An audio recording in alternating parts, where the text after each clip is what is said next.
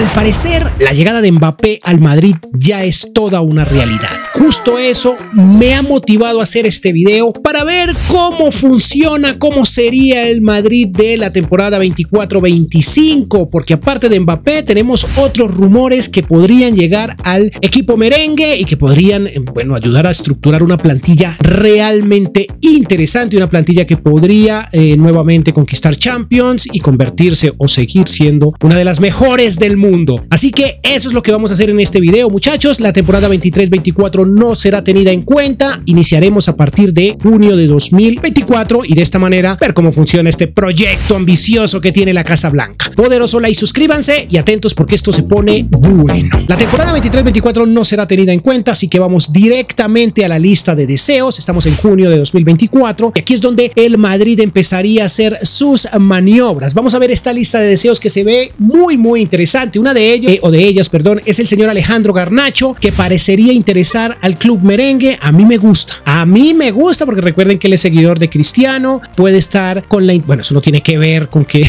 llegue al Madrid, pero podría llegar a ser. La de este señor es casi un hecho y por ende lo vamos a fichar de una u otra forma. Estará en este episodio, de hecho estaría en la miniatura, porque si no fuera por este señor, yo creo que este video no existiría, no lo haría. Otro interés interesante, valga la redundancia, es el de Rasmus Houlun, que últimamente lo está haciendo bastante bien en el Manchester United, pero para ser honesto, ya tiene un valor bastante alto, en este caso 73.4 millones, en la vida real también está bastante costoso el chico, que parece que está saliendo de su mala racha. El punto es que aquí tendríamos a Hendrik, y ahí voy a hacer un pequeño paréntesis porque Hendrik, a pesar de que ya sabemos que es jugador del Madrid, no lo voy a tener en cuenta en este episodio, de hecho no lo he creado porque como sabemos mi juego se crashea cuando utilizo jugadores creados y pues me arruinaría el modo carrera. Vamos a imaginar que Hendrik llegaría pero que se iría en calidad de préstamo. Vamos a verlo de esa manera porque no lo vamos a tener en este episodio. Por ahí se dice también que el Madrid está bastante interesado en el señor Job Bellingham. Bueno, digo señor, pero en realidad es un chico que podríamos traerlo de cara al futuro. No lo veo nada mal. También se dice que Ethan podría llegar. Este sí, la verdad, lo siento un poco flojo. Ahí lo tendremos en cuenta. Alfonso Davis pareciera que es toda una realidad en el Madrid, pues lo vamos a probar en este episodio. También se dice que le interesa a Florentino el señor Miguel Gutiérrez. Recuerden que el 50% del pase de este muchacho pertenece al Madrid, pero la actual temporada en el Girona lo ha puesto en el equipo nuevamente. También eh, le apuntan a un defensa central de cara al futuro y este señor Lenny Lloro es uno de ellos, aunque también está el señor Jarrad Brandwhite, que en este momento, bueno, pertenece a otro club, creo que es de Brighton, no estoy seguro, o del Everton, perdón, lo olvidé. Aquí ya aparece en el Manchester United. Recuerden que estamos en la temporada 24-25. El señor Pacho también interesa, lo probamos de Eintracht Frankfurt, lo probamos en otro reconstruyendo y funcionó perfecto. También me parece una muy buena opción para eh, la defensa, para ayudar un poco, porque recuerden que ya jugadores como Álava, como Rudiger, bueno, van avanzando en edad y vamos a necesitar tal vez un jugador interesante en esa posición. Este señor Gonzalo, Goncalo, perdón, Ignacio también suena bastante, pero yo me iría un poco más por Antonio Silva, que lo hemos probado en otros episodios y funciona muy bien aunque este Ausmane Diomande es un chico que cuesta poco para el Madrid, este está un poco más costoso. Este chico está muy, muy económico y tiene un potencial brutal, ya lo hemos ensayado. Saliva creo que se sale un poco de el presupuesto. Este señor mm, Nico también está un poco costoso. Se rumora que creo que no hay una muy buena relación entre el señor Ten Hag y este señor que podría volver. Obviamente conoce perfectamente al Madrid, pero yo no sé qué tan dispuesto esté él a regresar. Tren Alexander Arnold suena bastante bien y Rhys James de cara al futuro. Pero pues hombre, estos dos últimos están sonando del todo. Bueno, no sé, yo me iría por Rhys, no sé ustedes. Eh, sí, pero Rhys es más bajo. Tal vez me iría por Trent. En fin, ahí ya veremos chicos. Yo creo que de momento me voy con este fichaje porque sí o sí llega y llega totalmente gratis al Madrid. El salario dicen que entre 15 y 20 millones. Ya veremos. Como sabemos, este señor eh, podría llegar totalmente gratis. Pues aquí le hemos puesto un euro de cláusula,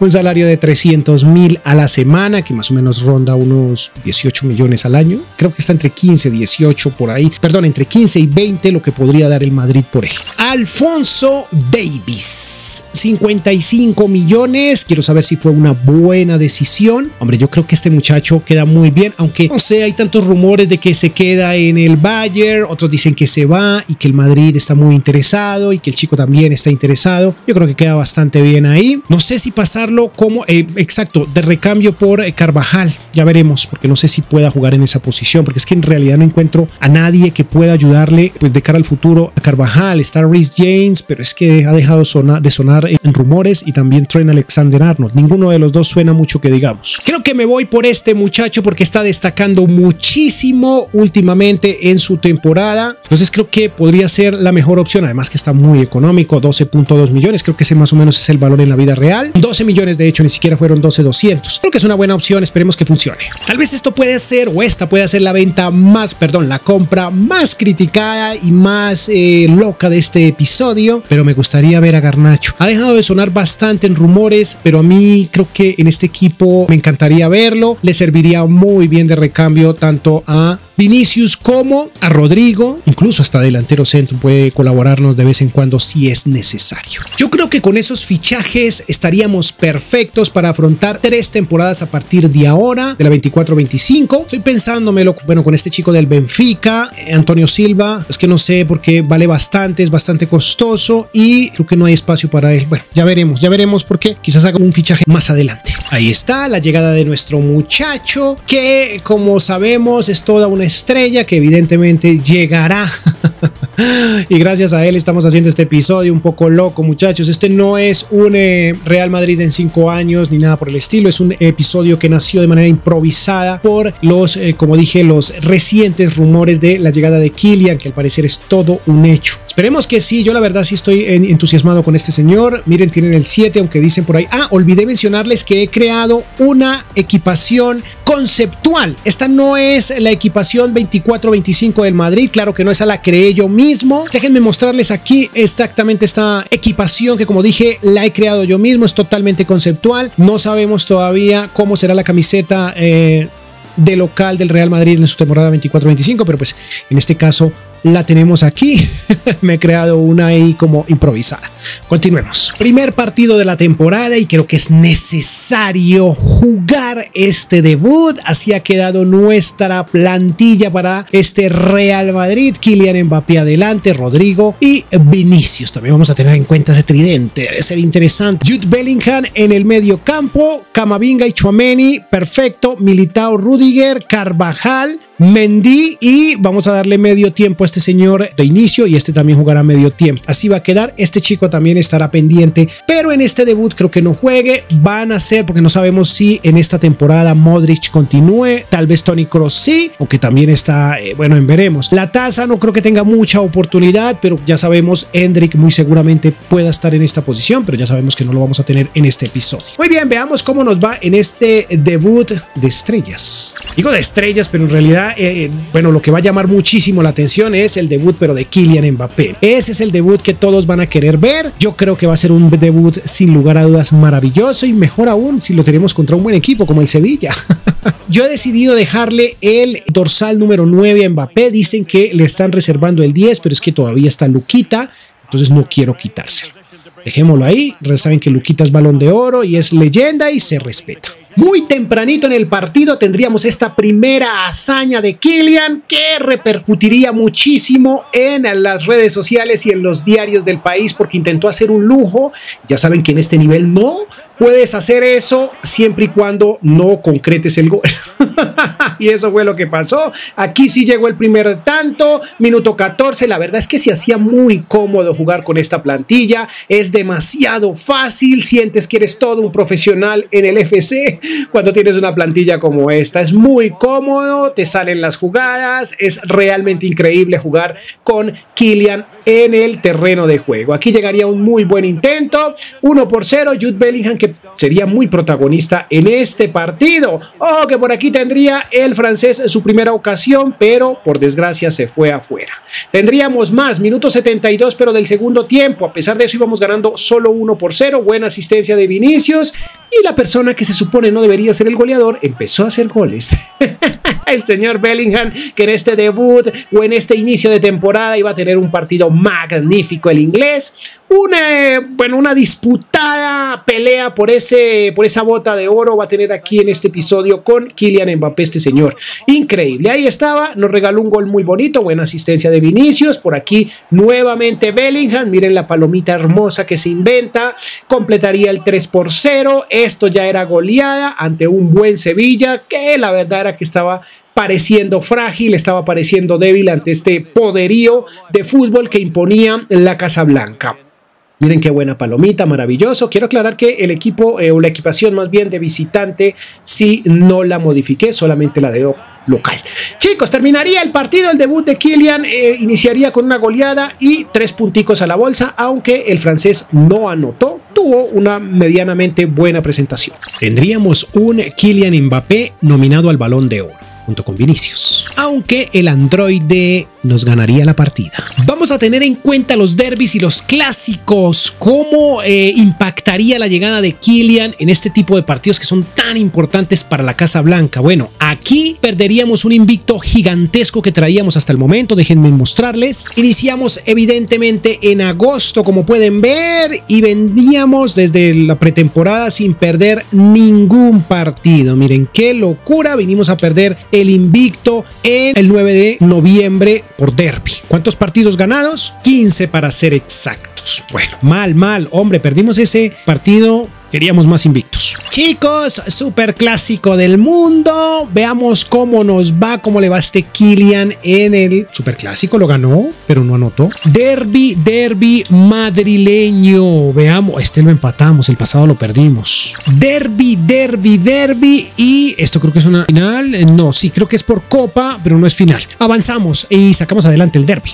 Derby madrileño y Champions. Nos encontramos a este equipo en Champions, lo derrotamos, tenemos el de vuelta en el Metropolitano también ganamos. Al final 4 por 1 en los dos partidos. Muy bien. Semifinales de Champions y vamos contra el eh, Barcelona, superclásico del mundo. Déjenme ver, 2 por 2 en el Camp Nou. Y partido de vuelta, creo que vamos con este señor de titular. Sí, están algunos molestos, pero sí les estoy dando minutos. No sé qué sucede. ¡Ay! No puede ser en los penaltis. Increíble. Solo hicimos un gol de penalti. No puede ser. Último superclásico del mundo por Liga. 3 por 2 lo ganamos. El FC24 nos dice que el Real Madrid ganaría esa Liga 24-25 con Kylian Mbappé a bordo. Caeríamos en semifinales de la Supercopa y seríamos campeones de la Copa de España. En su primera temporada en este equipo no lograría ganar Champions el Madrid caería en semifinales. Ojo que estos son predicciones del futuro. Tampoco sería Pichichi Mbappé, quedaría en el cuarto lugar y en las asistencias también le iría muy regular. Aunque nos dice el FC que Mbappé sería goleador por Champions. Mm, no lo sería, no le iría bien en las asistencias, pero es que es apenas lógico. Nuestro portero, ¿cómo le iría? En Champions, regular, sexto lugar. Se dice que este señor sería el más goleador de esta temporada. Una unidad, Kylian se mantuvo, ya tiene 26 años, ojo al dato, y Jude Bellingham tendría dos unidades de crecimiento. Este Vinicius se iría con dos, Valverde crecería una, es que esto sería un pedazo de equipo, ¿no? Miren, Aurelien Chouameni, que ya es titular, tres unidades, Garnacho que jugó 24 partidos, crecería 2. Camavinga, mm, muy buen suplente, 2. Brahim también de suplente, una unidad. Este señor se mantendría y probablemente perdería la titularidad a manos de el eh, señor mm, Alfonso Davis. Dos unidades para Juan Lataza que no tuvo mucha eh, participación. Este señor tampoco, iría poco a poco. Dos unidades para Lenny Lloro y este señor cuatro unidades y sin lugar a dudas titular para la próxima campaña. Estos son los jugadores que hemos prestado y que bueno, algunos de ellos no estarían o no los tendríamos en cuenta en este proyecto, como Lucas Vázquez y ese tipo de jugadores. El señor Arda Guller, que ya lo vamos a ver justo aquí, está en calidad de préstamo, creció dos unidades. Muy bien, por Arda, ya llega el préstamo, pero lo seguiremos prestando, no lo tendremos en cuenta en este proyecto. Ojo, porque tenemos a Brahim, Brahim lo hace bastante bien y Arda se cultivaría de cara al futuro. Este señor no sé si se retire, creo que esta temporada no lo hará. Cinco también de unidades en decrecimiento y este señor se mantuvo, no será tenido en cuenta, este señor cayó seis unidades. Por Dios, Lunín, una unidad seguiría con nosotros en este proyecto, también David Alaba y eh, Fran García, muy bien de cara al futuro, Militao evidentemente y Courtois sin lugar a dudas. Vamos a la segunda temporada, pero la tercera en teoría. Para esta temporada he vendido, he decidido salir del señor David Alaba bueno, hay varios jugadores de los que he prescindido. Voy a traer otro central. A ver, aquí la decisión es bastante compleja, muchachos. Tenemos muchos centrales. Este Jarrad Bradway, Brandway, perdón, mm, su costo sería de 27 millones. Este Pacho me gustó mucho. 23 años también. Scalvini, 34 millones, bastante costoso. Ignacio, sin lugar a dudas, muy, muy costoso, 47 millones, pero me invertiría mejor 6 millones más por este señor. Sí, bueno, tienen la misma. Wow, pero este señor es más. Sí, este señor es más joven y por eso más costosito. Este es un jugador que no lo siento tan costoso, pero me gustaría, me gustaría Saliba o Saliva si ya se sale, está desfasado de costo. Este señor también está bastante costoso y Barán, bueno, yo no creo que Barán vuelva por aquí. Yo creo que me voy a ir por este señor. Ahí yo les dejo a ustedes cuál de esos centrales escogerían. Yo me voy por este.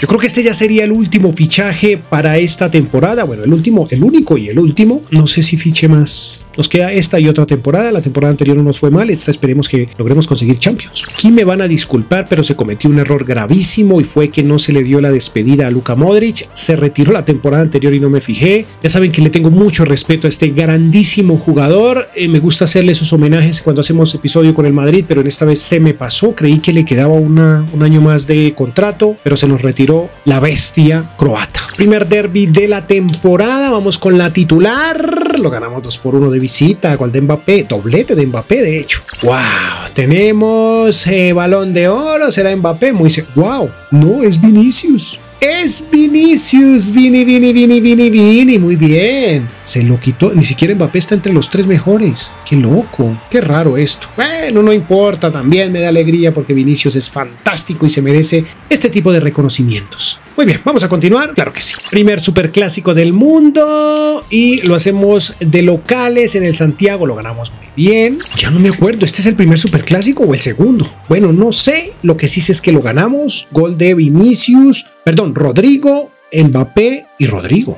Vaya. Derby madrileño en casa y conseguido. Al parecer, el pronóstico dice que en la segunda temporada el eh, Madrid con Kylian Mbappé sería o disputaría final de Champions. Eso es lo que vamos a hacer. Esto debe ser un pedazo de partido, una final muy muy interesante entre el Real Madrid y el poderoso Bayern Múnich, que se supone no debería tener a Kimmich para estas eh, fechas. Pero bueno, Kimmich lo veo como Blaugrana. ¿Ustedes qué dicen? Bueno, me lo dejan en comentarios. Minuto 12 y llegaría la primera anotación del Bayern. Esto nos daría un poco de tristeza porque el equipo se estaba como empezando a acomodar y ya recibía el primer tanto en contra. Muy buena jugada en individual y buena definición. Lo que no entendí fue cómo logró mantener ese balón, pero bueno, Musiala es de talla mundial. Ojito al minuto 24 porque llegaría la primera anotación de Kylian en Champions por la Casa Blanca. El primer gol de los muchos que posiblemente traerá al equipo. Aquí lo hacía de maravilla, empataba las cosas. Minuto 24, buena definición, buena asistencia, buen despliegue de velocidad por parte del francés. Saben que le sobra velocidad y reacción, entonces es muy normal ver este tipo de jugadas. Miren aquí nuevamente participando y asistiendo para un maravilloso gol el señor Rodrigo. Esta dupla entre brasileños y franceses pareciera ser que puede funcionar, pareciera ser que va a ser hermosa, valga la redundancia. Chicos, llegaría el segundo tanto. Este Madrid estaba envalentonado. La verdad es que se hace muy fácil jugar con una plantilla así. Sientes que estás como en un videojuego realmente. es broma, muchachos. Esto parece el FIFA realmente. oh, porque miren, nuevamente el francés ya había hecho un gol, ya había asistido y al minuto 53 nos regalaría otro, otra maravilla de gol. Dice que seleccionó y mentiras, mentiras, está perfectamente. Solo quiere celebrar, solo quiere pasársela increíble. porque Miren qué buena asistencia y la definición espléndida por parte de Kylian. Muy bonito gol, aquí un penalti muy bien atajado por nuestro portero, el mejor del mundo. nos eh, daría la comodidad de seguir tranquilos. 3 por 1 y ojo con este despliegue de velocidad. Cuando ya Kylian estaba más o menos a un 30% de energía, logró sacar fuerzas de donde no las tenía y finiquitar la jugada con un gol más. Un hack trick para nuestro francés favorito. Mírenlo, buena definición, maravilloso. Por desgracia, eh, no lograríamos ver esa escena donde se lleva su balón a casa. No entiendo por qué cuando jugamos Champions no nos dan este reconocimiento o no sale esa cinemática, pero no importa. Lo que importaba era que habíamos ganado. Era un Madrid con contundencia, habíamos ganado muy, muy poderosamente, 4 por 1 y goleado a uno de los grandes de Europa, que es el Bayern Continuemos. El destino dice que el Madrid volvería a ser campeón en la segunda temporada de Mbappé. También sería campeón de la Copa de España, pero no de la Copa de España. Quedaría o caería en cuartos de final pero tendríamos esta maravilla. Esta sería la número 15. En su segunda temporada, Mbappé sería Pichichi y por Champions también sería goleador. Ay, este señor sería una locura en este equipo. Sin lugar a dudas, sería el máximo anotador del club. Como pueden ver, una unidad de crecimiento. Vinicius también con una unidad y ya va en 96. Qué loco. Este señor, una unidad. Una unidad también para Judd Bellingham. Jude, perdón, Jude, Jude, Jude. Dos unidades para Garnacho que va ahí. Alfonso que lo dejé como titular. Saqué a Carvajal. No, no creo que sea una gran idea sentar a Carvajal, pero me estoy arriesgando en eso. Ustedes déjenmelo en comentarios si le di titularidad más bien a este señor. Por aquí Chuameni, Camavinga también con una unidad, un suplente maravilloso. Este señor también lo hace muy bien como suplente. Y Lloro, sin lugar a dudas, no jugó mucho, pero va creciendo, va creciendo nuestro muchacho. Por aquí, este señor yo creo que se retira esta temporada, si no es que se va totalmente gratis. Arda Guller en préstamo sigue gigantesco. Mírenle cómo le sienta de bien esa camiseta del Chelsea. Sería interesante la carrera de Arda Guller en el Chelsea. Mm, me gusta, me gusta. Dos unidades para este señor. Eh, Vázquez con dos unidades, ojo. Y eh, este señor el futuro. Bueno, digamos que la juventud de este Madrid que va creciendo poco a poco. Que para ser honesto es una juventud que a mí no me convence del todo. Una pregunta chicos. ¿Ustedes han visto que los hijos de Zinedine Zidane triunfen? en el fútbol, bueno, que lleguen a, digamos, a lo que fue su papá, al menos la mitad de lo que fue su padre, pues no se veo lejos ese sueño para la familia Zidane con todo respeto lo digo, por Dios. Carvajal, que lo sentamos, tiene 34 años, sigue, seguirá siendo eh, parte del equipo. Este es uno de los que, a mi criterio, se retira en este club. Un suplente también maravilloso, Fran García. Antonio Silva creció dos unidades, jugó 27 partidos, de razón que creció mucho. Este señor, una unidad, cayó una unidad Rudiger, que poco a poco iría perdiendo la titularidad y se la, haríamos, se la iríamos dando ya sea a Lloro o Antonio Silva, creo yo en este momento, tal vez Silva. Vamos a la tercera y última temporada. Este, sin lugar a dudas, es solo un sueño húmedo por parte mía. Porque vamos a imaginar que Jude le dice a Job, oye, vente, vente para acá, estamos en familia, conozco muy bien, vivir en Madrid es genial, todo es maravilloso, aprender español es una locura y el fútbol del Real Madrid es una completa, completa bestialidad. Además, heredarías el 8 de... ¡Ay, no puede ser! Del señor Tony Cross. Bueno, esto ya sería una falta de respeto, lo sé. Pero eh, digamos que influenciado por su hermano, Job termina aquí. Además, eh, por el rendimiento que tuvo en el episodio anterior, en el video anterior en donde simulamos su carrera, espero que lo hayan visto. Hombre, quedé muy enamorado de este señor, aunque en ese episodio lo utilizamos como delantero centro. Y él es mediocampista. Aquí estamos necesitando mediocampistas jóvenes. Bueno, a mí me da mucha, muchísima pena, pero yo creo que este 8 que le han dado a este señor, tal vez se lo merece más el señor Chuameni, claro que sí, porque, bueno, ese 8, ese 8, ese, ay, le dieron ahora el 10, por Dios, ese 10 es el de Luquita. Yo creo que vamos a darle ese 10 a el señor, a este señor, porque creo que ahí, perfecto, creo que le van a dar ese número a Mbappé. Ahora, a Camavinga sí dejémosle el número que viene trayendo, pero a, este señor, yo creo que voy a darle el 6 más bien a Camavinga, ¿les parece? Lucas Vázquez, sí, yo creo que sí. Yo lo siento, pero tú te, debes quedar con ese número y el 9 a quién se lo dejamos. Por Dios santo, no hay un 9 disponible. Este señor no creo que sea un 9. Dejémoslo así, pero creo que Mbappé va por este número. Sabíamos que teníamos final de Supercopa de Europa, pero bueno, la iba a simular, chicos. Lo que pasa es que jugar contra este mm, Chelsea me parece interesante, pero aún más eh, me parece muy, muy, muy divertido jugar con esta plantilla que tenemos ahora mismo. Siento que se hace fácil, siento que es entretenido, siento que es una completa locura jugar con este Madrid que hemos creado justo en este instante. Es un Madrid muy poderoso, se, se siente muy cómodo jugar con este equipo, así que voy a jugarla, voy a jugarla porque quiero divertirme. Aunque para ser honesto, esto iba a ser un pedazo, pero pedazo de partido. Iniciaría el Madrid intentándolo. Aquí Jude Bellingham nos regalaría una maravilla de gol, un hermoso gol que ya estamos acostumbrados a verlos en el canal porque son goles hermosos. Miren esa calidad, esa frialdad que tiene a la hora de definir. Impresionante sin lugar a dudas. Muchos creerían desde este lado que era eh, Kylian, pero no, no, no, no, no. Era otro goleador nato que tiene el Real Madrid llamado Jude Bellingham. No sé si lo has escuchado en los últimos días, pero es fantástico. Ahí lo tienes en pantalla. Vamos a la respuesta del Chelsea. Esto sería un partido con más de nueve goles. Esto es un partidazo, chicos. En serio, pónganse cómodos. Miren el Chelsea. Esto parece a lo que, lo que sucedió en, y creo que fue en cuartos de final de la 21-22 por Champions o 2021, no lo recuerdo bien, en donde el Chelsea parecía llevarse el título o la clasificación. Aquí 3 por 1, impresionante lo que estaba haciendo los Blues, lo que estaban haciendo los Blues. Y miren esto, esta es la foto para el recuerdo, muchachos. Miren cómo lo hace Arda Guller, nuestro propio muchacho, por Dios santo, celebrando cómo nos anotaba. Pero ojo, porque este Madrid se iba a poner las pilas en el segundo tiempo, iba a despertar, iba a espabilar. Este era el segundo tanto de Jude Bellingham.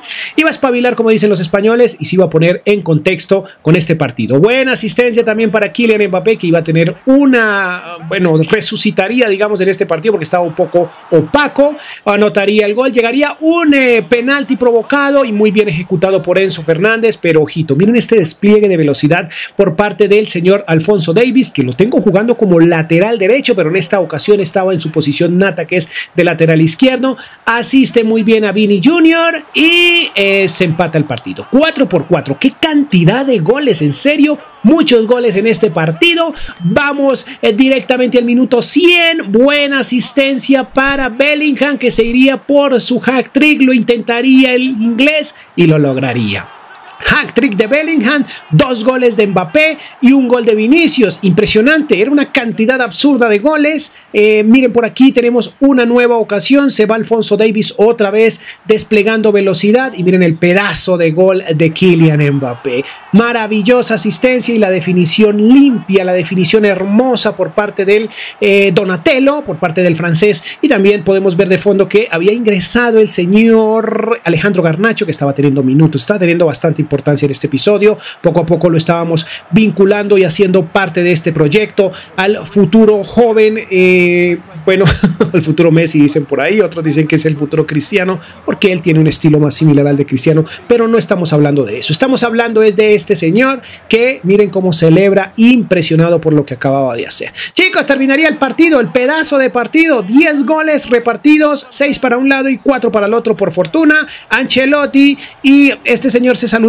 y nosotros teníamos que continuar. Primer super clásico del mundo. Veamos cómo lo perdemos.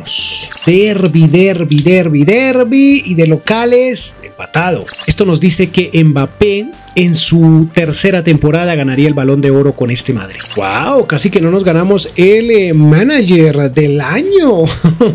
con este equipo que es tan fácil, bueno, en, esta, en este episodio que me hace tan fácil ganar, una cantidad de rachas, 16, 18, 20 partidos invictos, es una completa locura. Se me hacía raro que no hubiéramos ganado en la temporada anterior este premio. Bueno, aquí miren, sonríe Mbappé, todos están felices por nosotros. Estamos haciendo un gran trabajo. Ahí está el señor Ancelotti y nosotros felices. Es que yo creo que esta plantilla va a poner a este señor más alto de lo que ya está en la vida real. O sea, es mi punto de vista. Para mí es uno de los mejores, si no el mejor TT del mundo o de la actualidad. Super clásico, creo que este es una final.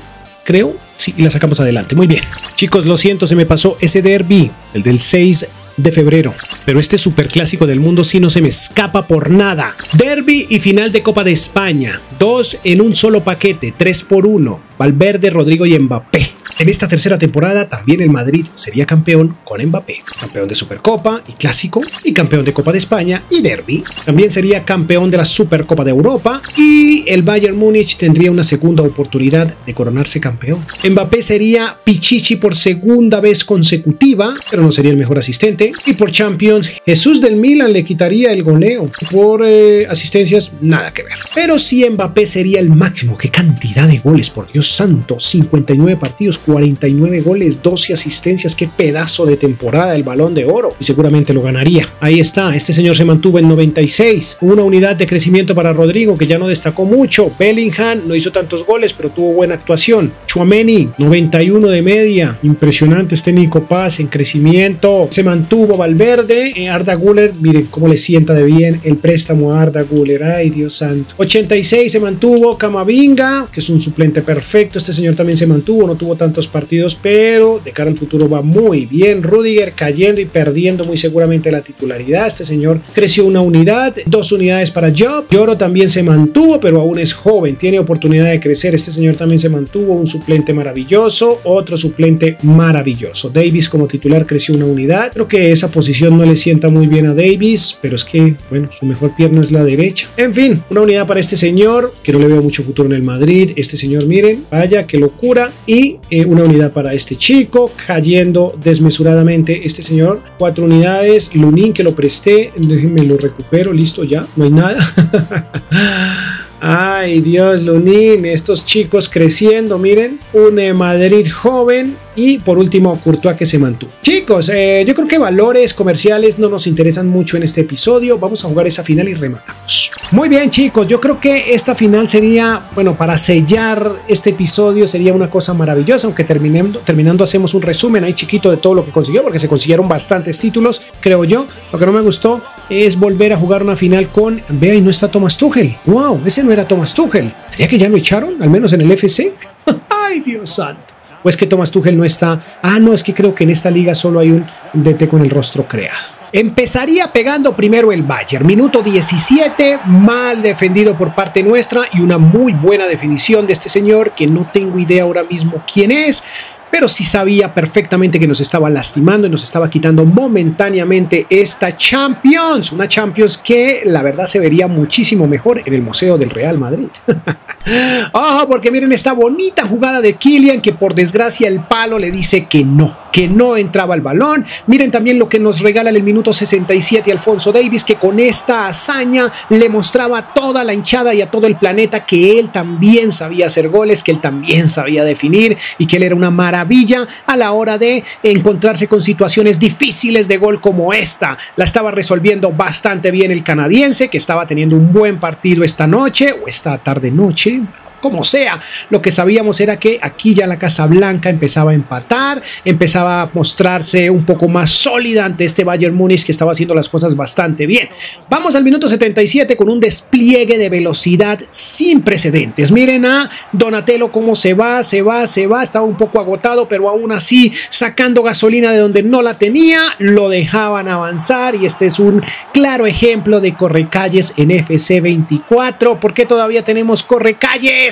¿Cómo es posible que este señor casi perdiendo, casi cayéndose, logre superar a todos en velocidad? Eso me parece un poco extraño. Si es realista en cierta medida, pero no creo que ya a estas alturas del partido, minuto 80. En fin, nos dejaron llegar, nos dejaron definir y Mbappé pues celebra y celebra toda la hinchada merengue con esta buena definición del francés. Esto ya daba un 2 por 1, ya quedaba comprobado que el Bayern Múnich no era capaz con nosotros.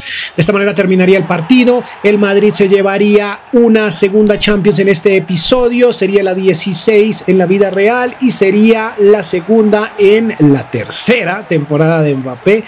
Esperemos eh, predecir el futuro de manera correcta. Veamos el resumen y finalizamos. Resumen cortico. Ligas consiguieron 3, Supercopas de España consiguieron 2, Copas de España 2, los derbis quedaron de la siguiente manera, 10 derbis jugados, 1 perdido, 2 empatados y 7 ganados. Los clásicos se jugaron 9, se perdieron 2, se empató 1 y se ganó 6. Champions League consiguieron 2 y Supercopas de Europa se consiguió una. Esto al final le da un total de 10 títulos conseguidos a este Real Madrid en 3 temporadas a partir de la llegada de Kylian. Tuvimos 4 veces el máximo anotador de diferentes competiciones, tanto en Champions como en la Liga, pero no tuvimos ni el mejor asistente ni el mejor portero. Nominaciones al Balón de Oro hubieron dos, de las cuales ambas se consiguieron, una para Kylian y otra para Vinicius. También fuimos el mejor DT del año. Ahora la pregunta es para ustedes, ¿creen que, primero que todo, Mbappé llegará al Madrid? ¿Creen que podrá explotar más futbolísticamente este muchacho y darle mucho éxito al club en general? ¿Cómo ven ustedes esta llegada de Mbappé al Madrid? Me lo dejan en los comentarios. Ojo, si quieren ver algo similar a este video, pero con otro club que, bueno, que está en problemas y que